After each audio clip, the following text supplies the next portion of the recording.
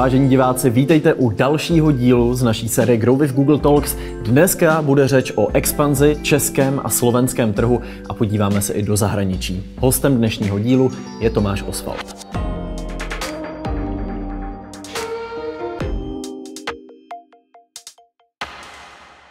Tomáši, vítej, díky moc, že jsi přijal pozvání. Vítej v Grovy Google Talks. Ještě musím říct rozhodně, že jsi partner Herbert Sirupů, že tam děláš provozního ředitele a i o tom bude dneska řeč, takže i do světa sirupů se dnes dostaneme. Ale na začátek. Podnikání Slovensko-Česko, rádi se srovnáváme, dají se tam najít nějaký rozdíly? Vieš čo, um, podnikania na Slovensku ja beriem pomerne do veľkej miery ako identické. Uh, sú to veľmi podobné trhy s veľmi podobnými zákazníckými preferenciami. A čo sa týka uh, sirupového biznisu alebo proste um, hotelov, reštaurácií, kaviarní a barov, tak myslím, že tie rozdiely sú naozaj minimálne a veľmi radi pôsobíme a slúžime našim zákazníkom, ako na Slovensku, tak aj v Čechách. OK, protože kam se chci dostat, je uh, vlastně tvoje zkušenost ze zahraničí. Ty máš poměrně bohaté zkušenosti, studoval si na úvod řeknu v Bratislavě, ano. potom se dostal do Ruska, do farmaceutické firmy. To ano. mě zajímalo, jaký zkušenosti si tam nabral. Hej, ono v podstate, ja som celý život chcel podstate niečo vybudovať, pohybovať sa v zahraničí, cestovať a preto som si vybral aj medzinárodný obchod a jak som skončil vysokú školu, tak som zistil, že není to také jednoduché sa dostať niekde, že by som mohol cestovať krížom krážom, tak som sa rozhodol, že pôjdem na manažerskú prax a aplyol som sa na stáž do Ruska na Sibír a v podstate mi to vyšlo a kde som strávil krásnych 5 mesiacov počas zimy na Sibíri. No, trošku chladnejšie, ale, ale skúsenosť neuveriteľná. Mm. A pôsobil som v, v lokálnej farmaceutickej spoločnosti, ktorá chcela expandovať do, do Európy s ich uh, divíziou dentálnej hygieny. Okay. Tak uh, bolo to pre mňa naozaj veľmi veľký challenge, uh, hodený do mora bez akýchkoľvek uh, proste, eh, jak sa to povie, uh, inštrukcií, mm-hmm. ale na, nakoniec to malo šťastný um, záver a podarilo sa mi nadviazať spoluprácu s jednou slo, uh, spoločnosťou mm-hmm. a v podstate ja to potom považujem ako úspešnú misiu, takže bola to skúsenosť fakt zaujímavá. Možná, kdybychom se chtěli držet na Sibiři v této analogii, tak to by bylo možná podlet zamrzlého jezera, ještě spíš než do moře. No hej, ako Zima bola veľmi náročná, že vonku som vydržal maximálne tak 10 minut, ale... Okay. no ty se potom přesunul do, do teplejší krajiny trošku, mm. konkrétně uh, na území Hongkongu. Tam si strávil rok, pokud se nemýlim? Áno, áno. Co jsi tam přesně dělal?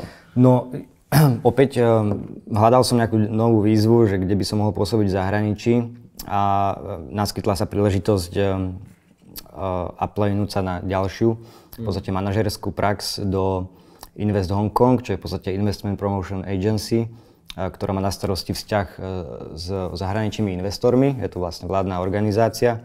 A spúšťali v, te, v tom čase e, novú iniciatívu pre budovanie startupového ekosystému, e, čoho malo byť výsledkom toho, že sa pospájajú v tom čase veľmi fragmentované časti startupového ekosystému mm-hmm.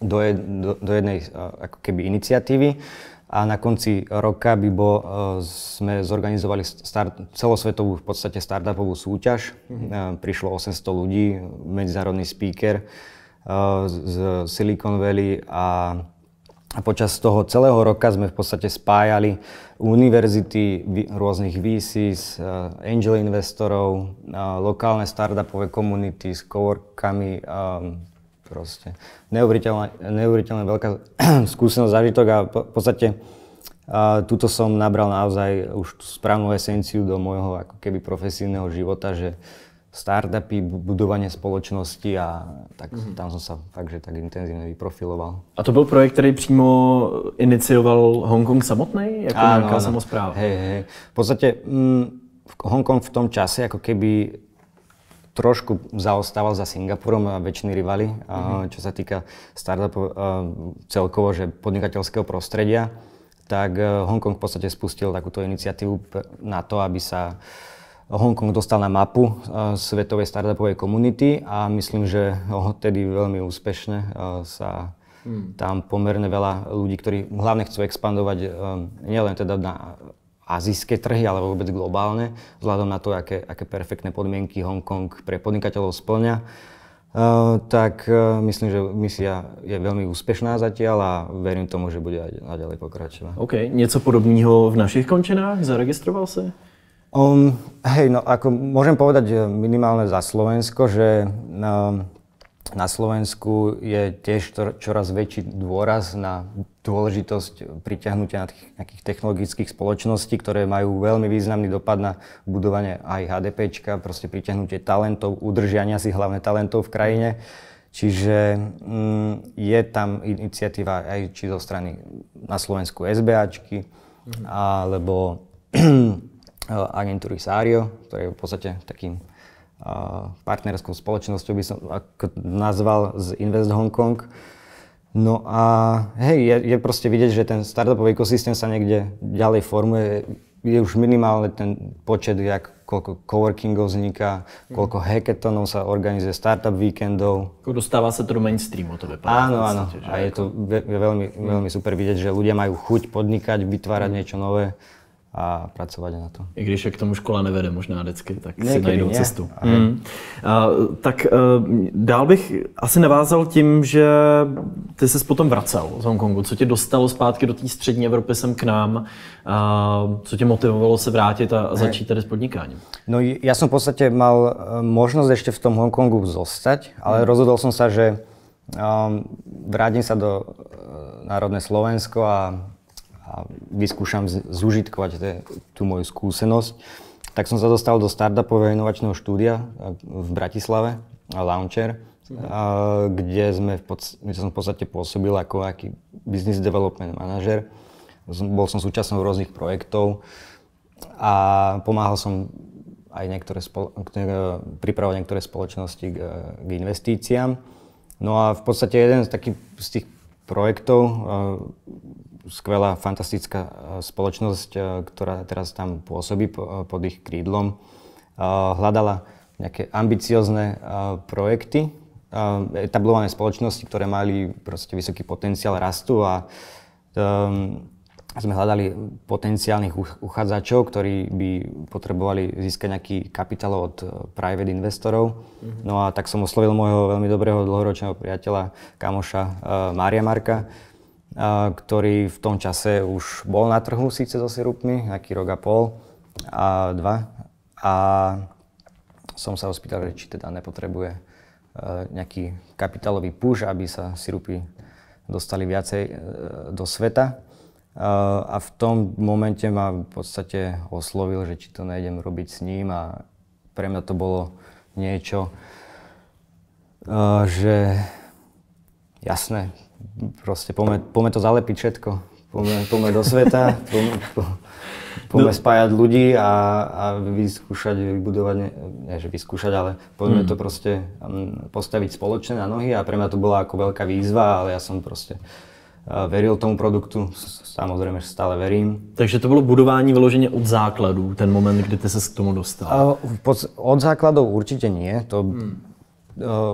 Firma už bola uh, funkčná, um, uh, predávalo sa primárne na Slovensku, uh, nejakých zákazníkov sme mali zopár aj v Čechách. Uh-huh. A, ale v tom čase v podstate Herbert bol taký, že veľmi málo lokálne známy a, a myslím, že za, za tých zo pár rokov spoločnej cesty mňa a Mária sa nám to podarilo dostať do širších, širšieho spektra.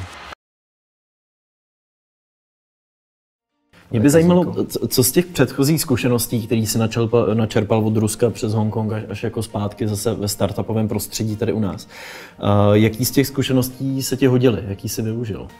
Hej, um, hlavne čo sa týka uh, nejakej štruktúry a organizácie a, um, a aplikovania nejakých tých manažer, ne, že manažerských, ale nejaké, aplikovania nejakej štruktúry do, mm. do toho systému.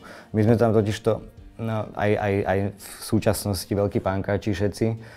Uh, a, ale samozrejme, že keď chce niekto proste budovať biznis a aby, aby to rástlo, aby to malo nejaké stabilné základy, piliere, na čom sa môžeme odrážať, tak uh, uh, začali sme riešiť či už skladové hospodárstvo, samozrejme účtovníctvo od, od bodu číslo 1, ale uh, čo sa týka business developmentu a celkovo marketingu, tak sme spustili e-shop, um, sourcing sme sa začali zameriavať na to intenzívne, pretože kvalita je pre nás úplne že na či, proste či, číslo jedna. Mm. A to, aby to perfektne chutilo, nakoľko teda uh, na chuti a kvalite si zakladáme. Mě zajímá, protože to je extrémně, abych zůstal v sirupové terminologii, takový zahuštěný obor, protože sirupy dělá hodně mm. značek. Tak jak v tomhle oboru, kde je tak velká konkurence, se nějakým způsobem vymezit nebo vyčnívat, anebo vlastně zaujmout ty zákazníka, který má na výběr tolik jiných firm? Mm. No, prvom rade u nás, e, čo na, najviac sa líšime od konkurencie, je to, že my vyrábame v podstate prírodné nepasterizované sirupy. Mm-hmm. Od bodu číslo 1 do bodu číslo 5 je to uh, fakt, že kus tvrdej, poctivej remeselnej výroby, kde chalani uh, či už čerstvé ovocie, byliny alebo prémiové čave spracovávajú. Mm. A výroba sirupu u nás trvá 4 až 5 pracovných dní, čiže ono to není tak, že má, uvaríme sirup a zajtra ho v podstate môžeme plniť. U nás každý jeden sirup si vyžaduje veľmi intenzívnu uh, prípravu, Kaž, čo, čo sirup, respektíve príchuť, tak to uh, úplne iný recept, úplne iný postup. A v podstate je to taký sirup ktorý by sa dal porovnať ako koniak medzi sirupmi, mm. pre, pretože je tam fakt veľa lásky a veľa času strávenej na ka- produkcii každej jednej várky. No a e, čo sa týka súrovín, tak e, my naozaj snažíme sa podporovať čo najviac lokálnych pestovateľov bylín. Používame prémiové ča- čaje z, z Ázie, z Indie, e, z rôznych kútov sveta, z, z Južnej Ameriky. no a tak máme teraz nových partnerov aj zo Sicílie, mm-hmm. s ktorými vlastne sme začali úzkú spoluprácu pri uh, biocitronových a limetkových šťavách. Takže rozpínáte Rozpínáme. Pár rychlých otázek. Jo. Typický zákazník. Hmm. Typický zákazník sú hotely, reštaurácie, kaviarne a bary u nás, uh-huh. ale teda máme aj regulárne spustený e-shop, kde vlastne ľudia si nás môžu zakúpiť cez online uh-huh. a taktiež uh, spolupracujeme uh, s rôznymi retail reťazcami v rámci Slovenska zatiaľ. Co bys řekl, že převažuje B2B nebo... Určite u nás prevažuje B2B, ale teda mm, veľmi, teraz po korone uh-huh. sme sa viacej začali orientovať aj, aj na retail prevádzky a chceme priniesť ten krásny produkt, to, tú remesel, remeselnú výrobu bližšie k širšiemu spektru zákazníkov, mm. takže mm. pozeráme sa už aj na retail. Jaký je nejoblíbenější produkt nebo příchuť vaše? Um, celkovo je to, ja by som povedal, že nie jeden, ale takže štyri príchute. Mm-hmm. Um, určite je to jazmín pomaranč, uh, malina rúža, matemeta a zázvory bištěk. OK. A liší se to nějak třeba mezi Českem, Slovenskem? Jestli se liší chutě? Medzi Slovenskom a Českom práve, že ani tak nie, ale, mm. medzi, ale, ale v Rakúsku a, a, a tyto naše dvě krajiny určitě. Tam je rozdíl. Hej. K tomu se dostaneme za chvilku, protože moje další otázka je soustředit se na domácí trh nebo expandovat. Um, určite treba pozerať, že kedy je ten správny čas na expanziu. Mm. Samozrejme všetko treba prispôsobiť aj, aj, aj produkt uh, výrobnej kapacite prevádzky a to, v akom štádiu sa spoločnosť aktuálne nachádza. Mm. A my tým, že pôsobíme v Trnave, e, veľká časť zákazníkov je aj v Bratislave a expandujeme teda aj do Čech, tak pre nás bolo takým prirodzeným um, trhom, pozrieť sa smerom aj na západ, do Rakúska, kde vlastne aktuálne máme okolo 50 zákazníkov, mm-hmm. ktorí primárne vo Viedni alebo Salzburgu. Mm-hmm. Čiže... No jak poznat ideální trh, na který se vydat? Co, co jsou ty indikátory? Uh, Čo sa týka nášho biznisu, tak určite je to možno aj sezónnosť. Pokiaľ sa bavíme iba čisto o sirupoch, mm-hmm. uh, využitie t- tých sirupov. Uh, pozeráme te, v Rakúsku ako takom je veľmi zaujímavý potenciál Alp. A, lebo veľa ľudí si myslí, že sirupy sú hlavne na prípravu limonád, ale pričom tie naše sirupy sú na 90% nášho portfólia je úplne perfektné na prípravu aj teplých nápojov. Pozeráme sa skrz aj, aj, aj na to, že, že aký je tam potenciál tých prevázok, že či vôbec by o tom záujem mali, aká je tam naša konkuren- aká je tam konkurencia mm-hmm. a či, či by tam proste nejaký ten potenciál predaju, predaju sirupů mohl nastať. Uh-huh. A obecně, kdybys měl říct, jako jak vybrat ideální trh pro expanzi, uh-huh. jsou nějaký faktory, kterými se většinou firmy řídí, nebo... Um, určite to konkurenčn, kon, ako konkurenčnú analýzu si treba spracovať, nejakú, nejaký market profile hmm. a, a, a, a zmapovať si nejakú aj prípadne cenu, cenovú úroveň, za koľko podobné produkty idú a a pozrieť sa na to, že aký je tam potenciál toho hmm. z, z pohľadu využitia tých našich nápojov. Já třeba vím, když jsme tady v rozhovoru měli uh, Lindu Šejdovou ze Snacks, tak ona mluvila o tom, že oni právě expandují na západ do uh, Německa a tam jako prezentovat tu věc, jako že byla vyrobená v Čechách, respektive na Slovensku třeba v vašem případě, může pro ty zákazníky někdy být něco, co je třeba problém. Takže pracujete uh-huh. s tímhle tím nějak? Je to jako... Je, je dosť možné, že na západnom trhu, či už v Rakúsku a, alebo niekde ďalej, sme, Francúzsko, Nemecko, že by mali s tým nejaký problém, ale, ale my sa držíme toho, že za kvalitným produktom treba naozaj skrývať mm, takú tú, uh, takú tú náro, národnú píchu, že odkiaľ to vlastne pochádza a my naopak veľmi radi klejmujeme, že sme zo Slovenska a proste tam na, je to síce vyrobené na Slovensku, ale niektoré suroviny sú také, že exotického charakteru, nakoľko tie naše príchute sú kombináciou niečoho tradičného s, s niečím experimentálnym.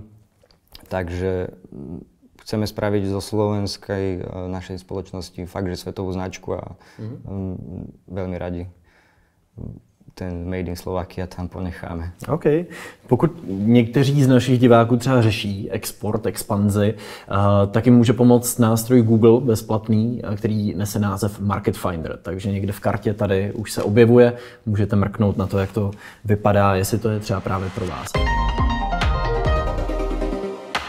Co tebe pojí nebo vaši firmu s Grow with Google? Je tam nějaký pojítko? Určitě ano. Um, v podstatě tým, že máme e, spravený e-shop pre samostatné B2B a B2C kategóriu a hlavne teda, čo sa týka B2C, tak e, v dnešnej dobe naozaj kľúčové a nevyhnutné sa starať o, o online priestor a Google kampane a, a celkovo um, nástroje, ktoré Google po, poskytuje, používame veľmi intenzívne uh, v na, našej spoločnosti a potrebovali sme to nejakým spôsobom sa aj trošku dovzdelať, mm-hmm. takže preto pre nás bol naozaj veľk, veľký prínos to, že sme boli účasťou programu Grow with Google. Mm-hmm. A jak to probíhal třeba takový program? Co sa tam odehrávalo? No, ono to v podstate pozostávalo z dvoch častí, že boli, boli nejaké prednášky a potom boli nejaké workshopy, no, čiže z nejakej teoretickej časti, kde sme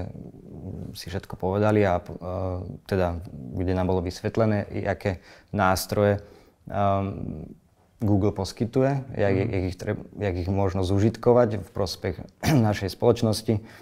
A, um, a v ďalšej časti workshope sa preberali väčšinou nejaké case studies, nejaké success stories a v podstate bolo to aj nejakého interaktívneho charakteru, čiže uh, pre mňa osobne uh, to bolo veľmi, veľmi poučné, aj zábavné a určite odporúčam každému.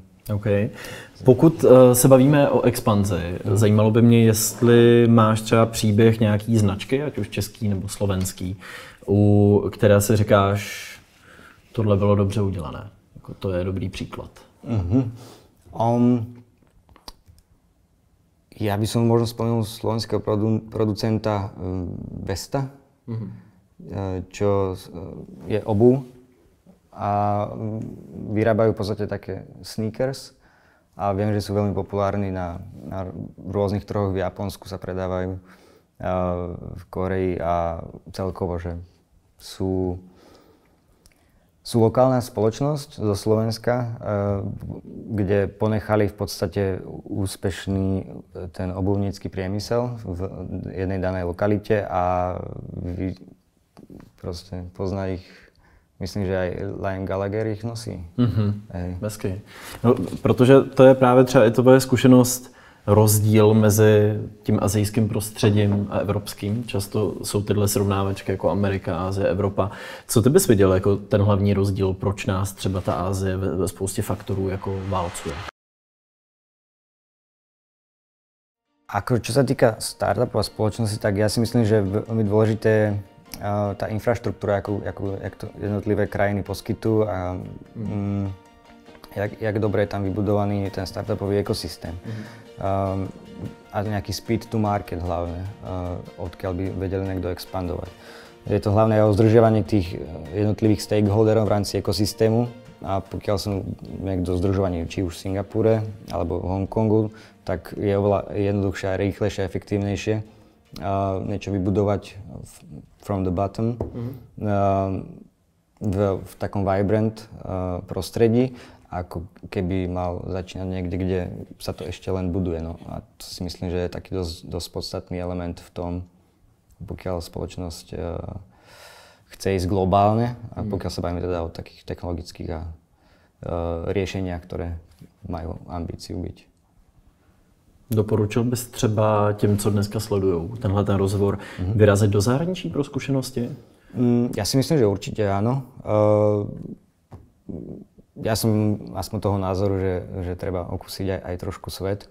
Mm, a potom človek sa určite rozhodne, že či sa vráti naspäť na rodnú hrúď, domovinu, alebo alebo tam po, zotrvá. No. Ja, ja milujem Slovensko a aj mesto, odkiaľ pochádzam, čiže mm, ja som to bral ako nabranie nejakých skúseností, ktoré otočím a nejaký prospech aj budovania Slovenska ďalej. Perfektní. Tomáš Oswald, díky moc, že jsi přijal pozvání, ale Děkuji ještě nekončíme. Podíváme se totiž na takeaways. Rád by som s vami zazdelal 5 vecí, ktoré potrebujeme na to, aby sme spustili produkt na trh. Číslo 1 je uviesť alebo zadefinovať si, čo vlastne chceme vyrábať. To znamená, že akú konkrétnu príchuť by sme chceli e, spraviť. Bod číslo 2 je ako, čiže v našom prípade ako správne spraviť tento sirup, aké suroviny na to budeme potrebovať, aký, aký komplikovaný bude ten samotný výrobný proces, či sa to dá vôbec vyrobiť efektívne a v rámci nejakej štruktúry. Číslo 3 by bolo, pre koho by sme vlastne tento sirup chceli vyrábať, čiže je dôležité zadefinovať či to chceme vytvárať túto príchuť špecificky pre B2B alebo čisto iba pre B2C segment a spraviť si nejaký mapping konkurenčnej analýzy. A číslo 4 eh, by bolo veľmi dôležité samozrejme spraviť cenotvorbu, to znamená zrátať si náklady na výrobu toho sirupu, na čas strávený výrobou toho sirupu a, a v podstate stanoviť cenu, ktorá bude akceptovaná pre zákazníka jednotlivých segmentov. No a za piaté máme kampaň, čiže v podstate keď už máme všetky body zodpovedané, je veľmi dôležité povedať, ak aký, aký je ten správny message, ktorý chceme dostať zákazníkom na stôl. Prečo si majú kúpiť ten produkt, cez aké kanály sa to k ním dostane a uh, aké nástroje na to použijeme.